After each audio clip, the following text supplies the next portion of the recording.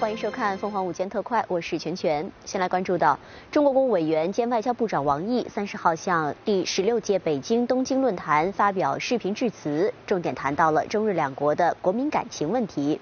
呼吁两国媒体追求真实，传递善意，为促进中日民间友好做出贡献。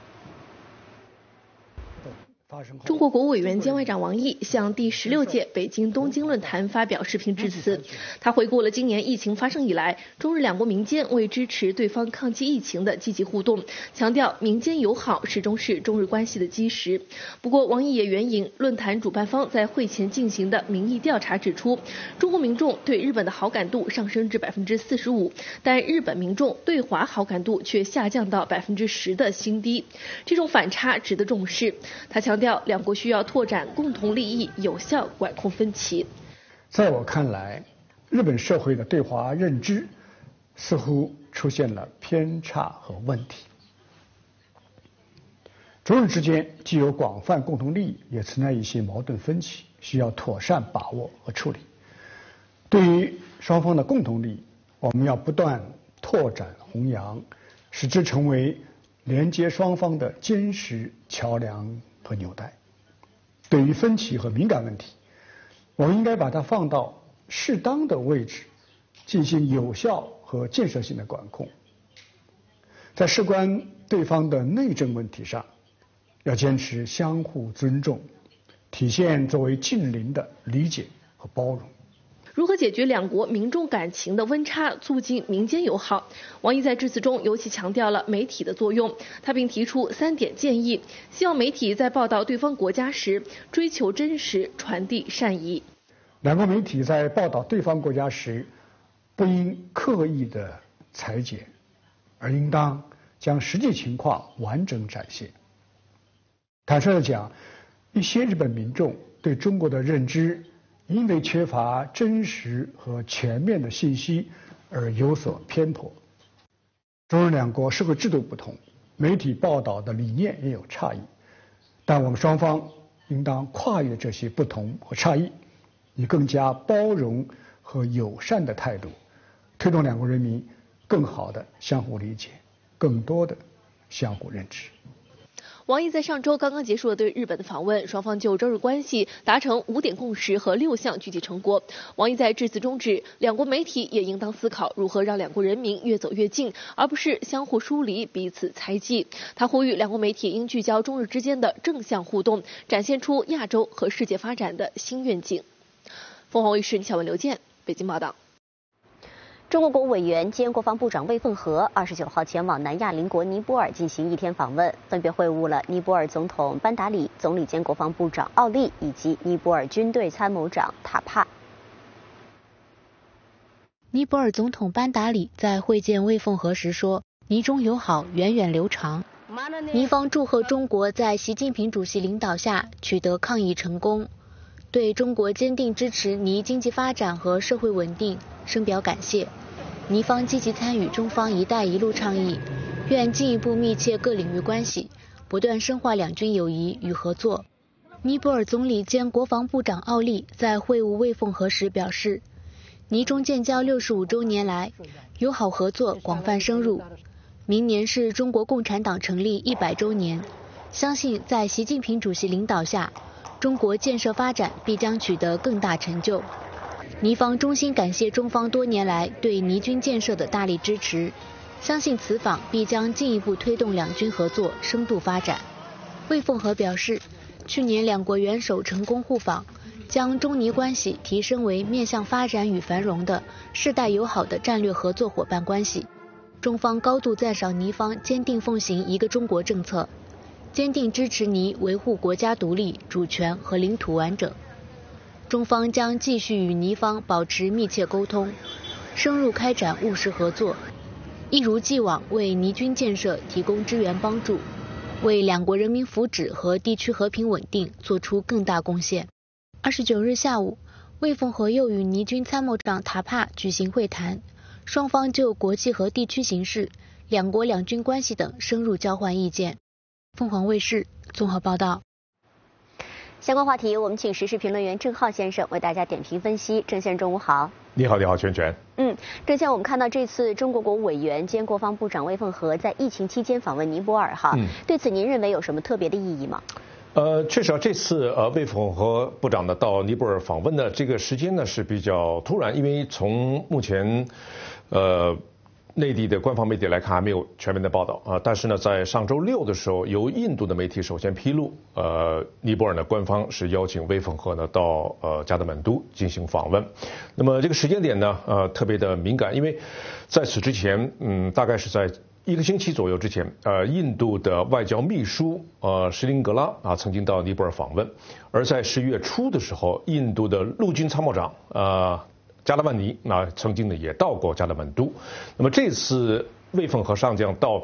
尼泊尔访问，他率领了一个比较大的一个代表团啊，大概是有二十三人呃到尼泊尔去访问啊，随同他到尼泊尔访问，呃，所以呢这个时间点上来讲呢，应该是比较令人关注吧。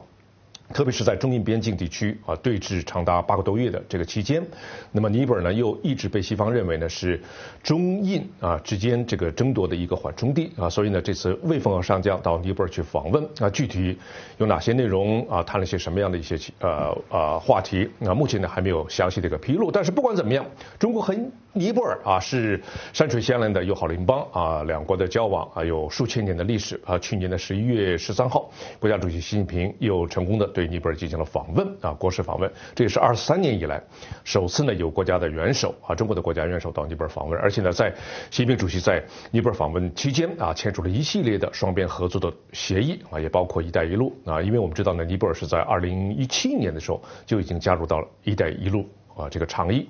那么另外呢，就是一个非常重大的一个项目。就是从西藏到加德满都的一条铁路，目前呢也正在紧锣密鼓的啊这个呃计划当中啊，所以呢，中尼两国之间的友好传统的这种友谊交往不会受到任何外来因素的一个影响。那么我也相信啊，随着这次魏凤和部长啊对尼泊尔的成功的访问啊，中尼两国两军之间的关系会得到进一步的加强。全全。好的，谢谢郑先生的点评分析。再来看到美国方面，美国后任总统拜登日前和宠物狗玩耍的时候不慎滑倒，扭伤脚踝，造成了轻微骨裂，可能需要穿呃防护靴。那过渡工作方面，拜登将会在三十号首度听取总统情报简报，还将会公布财经团队的提名人选。美国后任总统拜登继续组阁工作，继国安外交团队之后，最早将在三十号公布财经团队人选。美国有线电视新闻网 CNN 等多家媒体报道，三名核心人员都是女性。如媒体此前报道，美联储前主席耶伦将获提名出任财长，成为美国首位女财长。行政管理和预算局将由左翼智库美国进步中心总裁坦登掌管，而普林斯顿大学经济学者鲁斯将出任经济顾问委员会主席，他专研劳工问题和贫富不均。另外，前总统奥巴马政府的环球经济高级顾问阿耶莫将成为首位非裔副财长。拜登将在第二天带领新团队见记者。有分析形容，这个团队回归理性，注重才能，而不是意识形态主导。新冠疫情之下，新团队将面临重振经济的巨大挑战，也要解决民主党进步派想处理的种族贫富差距问题。而在二十九号，拜登过渡团队率先宣布白宫通讯团队的高级官员人选，首次全部由女性组成。奥巴马时期的白宫通讯主管普萨基将任白宫新闻秘书，曾任拜登副竞选经理和宣传主任的贝丁菲尔德将担任白宫通讯主管。拜登竞选团队高级顾问桑德斯将任副总统的高级顾问和首席发言人。他曾在竞选活动中拉走示威者，表现勇悍。七十八岁的拜登将成为美国史上就任时最老的总统，健康备受关注。他日前与爱犬玩耍时不慎滑倒，扭伤脚踝。CT 检查显示脚掌有发丝大小的轻微骨裂，未来数周可能需要穿戴防护靴。拜登离开医务所时步履蹒跚，但没有使用任何助行器。总统特朗普发表推文祝愿拜登早日康复。凤凰卫视综合报道。现任总统特朗普挑战大选结果的行动是继续受挫。威斯康星州二十九号完成了重新计票工作，确认由拜登胜出。而特朗普在大选结束之后首度接受媒体专访，表示无法确定最高法院是否会审理有关选举舞弊的上诉。特朗普与家人在戴维营共度感恩节假期后返回白宫。他在接受福克斯新闻电话访问时。再次在没有提供证据下指控选举出现大规模舞弊，但他认为目前的问题是难以将选举舞弊指控的诉讼交到最高法院处理，怀疑能否以法律手段推翻大选结果。Well, the problem is it's hard to get into the Supreme Court. I've got the best Supreme Court uh, advocates, uh, lawyers uh, that want to argue the case if it gets there. But they said it's very hard to get a case up there. 不过，特朗普强调会继续挑战选举结果，这种想法在六个月内都不会改变。另一方面，威斯康星州二十九号完成重新计票工作。继早前密尔沃基县确认拜登胜出后，戴恩县经重新计票后显示，特朗普多取四十五票，但没有影响整体结果。拜登在威州的总票数仍较特朗普多出两万票，取得当地十张选举人票。特朗普团队曾先后在佐治亚州、宾夕法尼亚州等关键州份，路比法院试图阻止确认选举结果，但都失败收场。凤凰卫视综合报道。外媒报道，英国政府将会在三十号宣布，自明年九月起，英国通信公司禁止安装新的华为五 G 设备。路透社引述《金融时报》报道称，这是英国试图将华为设备清除出英国 5G 网络计划的一部分。这一决定让英国业界感到惊讶，因为当局仍然允许在今年年底之前购买华为设备，并在2027年之前使用华为设备。期限届满的时候才必须全部拆除。而业界方面仍然在努力制定这一时间表。这次禁令意味着，业界的华为设备大部分库存已经没有用。报道称，英国数字大臣道登在声明中将华为公司称作高风险卖家，并声称其对所谓国家安全造成的威胁。但是业界认为此举会拖延英国 5G 建设，并且让成本大增。朝鲜劳动党二十九号召开了中央政治局扩大会议，主要议程是经济问题。朝中社报道，会议在劳动党党中央本部大楼召开。劳动党委员长、朝鲜国务委员长和武装力量最高司令官金正恩主持，主要议程包括改善对经济工作的指导、执行当前经济任务问题等。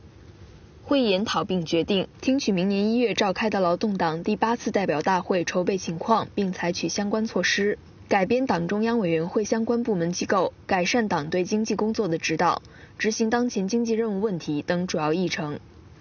报道指出，劳动党中央政治局严厉批评了经济指导机关，认为这些机关没有按照客观环境和条件做好对负责部门的指导，强调要在执行经济政策时彻底保障科学性。中央政治局同时深入讨论了就执行今年经济任务的重要问题，并通过了一些重要决定。凤凰卫视综合报道。休息一下，广告回来有财经消息，稍后见。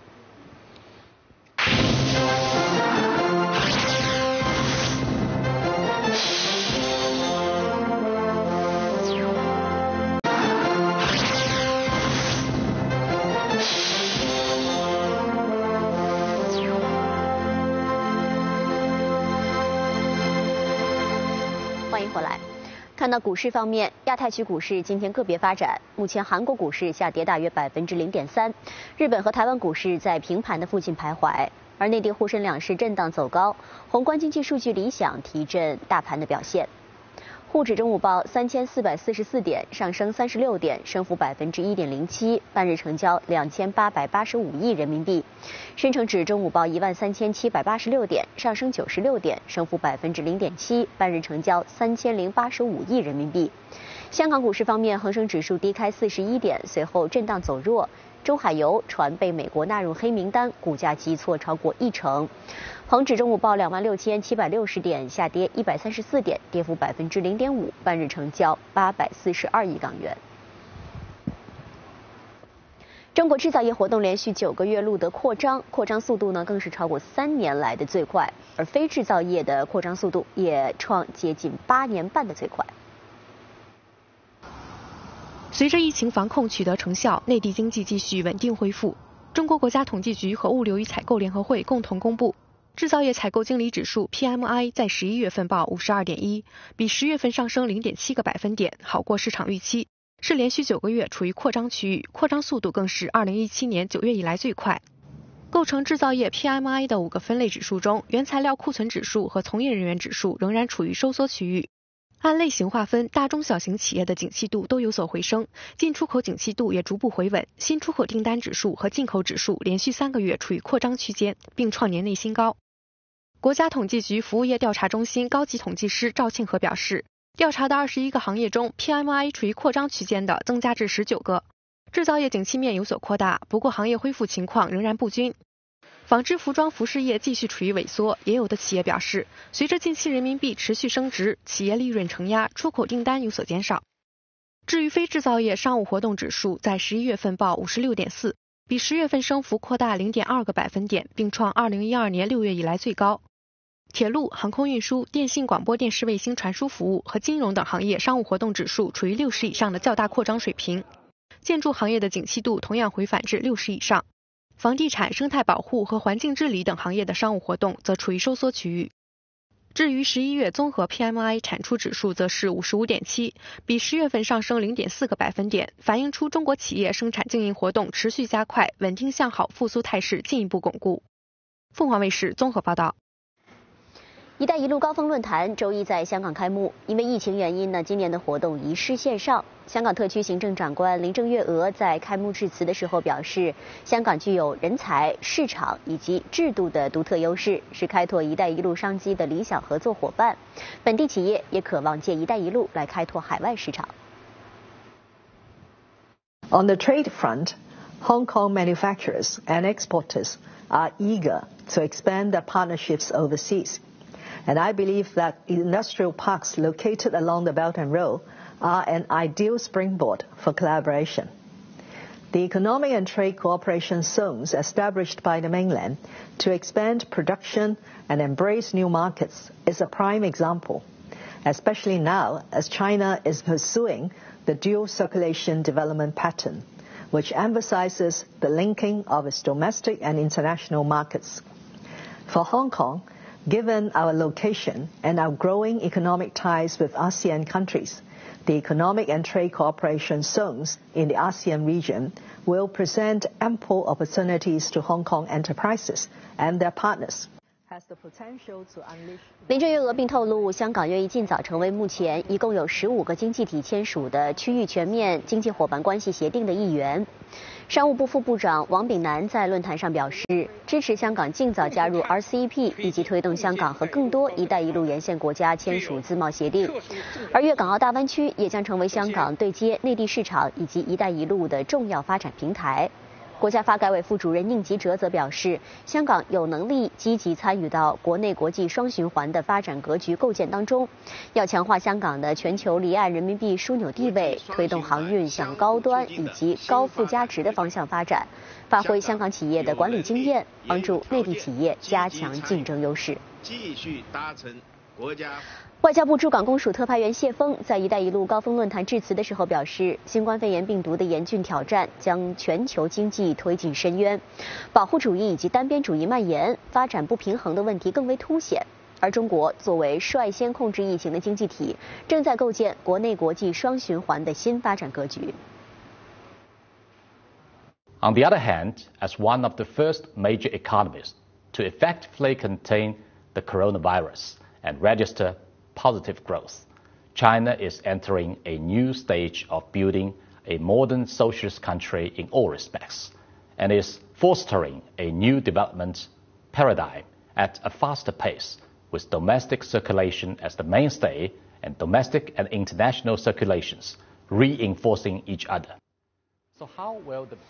谢峰表示，“一带一路”高质量发展 矫正传统全球化的失衡结构， 优先在全球化洼地兴建基础设施，促进产业合作，最大限度释放发展中国家和转型国家的发展潜力。谢峰指，RCEP 签署标志着自由贸易和多边主义是时代潮流，合作共赢是人心所向。中国构建新发展格局，将为“一带一路”高质量发展开辟新空间，为新型全球化注入新动能。嫦娥五号探测器着陆器和上升器组合体与轨道器和返回器的组合体，在科技人员精确控制下，周一凌晨四点四十分顺利分离。着陆器和上升器组合体将会择机实施月面软着陆、进行自动采样等后续工作。嫦娥五号任务作为中国探月任务绕、落、回三步走的最后一步，尽管从嫦娥一号到四号已经积累了大量的技术基础，但是其中呢仍然面临着多项技术风险和挑战。按规划，嫦娥五号探测器不仅要降落在月球，还需完成采样和返回。为完成多项任务，研制人员将其设计成多器组合体的形式，系统更为复杂。啊，我们这个探测器呢，总共由四个部分组成，然后它的这个形式呢，有点像穿糖葫芦，从上到下依次是上升器、着陆器、返回器和轨道器，这四部分在发射的时候组成一个呃探测器的一个整体。四个探测器有各自的任务和功能，在执行月面采样返回任务过程中，四个探测器会根据任务需求形成多种组合，通力配合完成任务。嫦娥五号首次月球采样任务中面临的首个技术挑战是整体采样封装，这部分依赖于多个复杂机构，以确保样品保持原状，免受污染。其次，在无人照看、没有发射塔架和地面保障系统等复杂情况下，完成月面起飞也实属不易。随后，上升器和轨返组合体将在距地球几十公里外的环绕月球轨道上自主完成交会对接，这也将面临技术难题。我们需要精确的，呃，预测这两个航天器在月球轨道上飞行的这个位置和速度。由于这个我们两个探测器的这个呃大小是不匹配的，呃万一出现了误差，可能就会把一个小的航天器就可能会撞飞，那样的话就就是再去这个对接就非常困难了。在完成交会对接后，下一步是携带样品返回地球，但要从月球轨道上逃逸，精确的回来，这对轨道的设计也是非常困难的。凤凰卫视综合报道。感谢您收看《凤凰午间特快》，再会。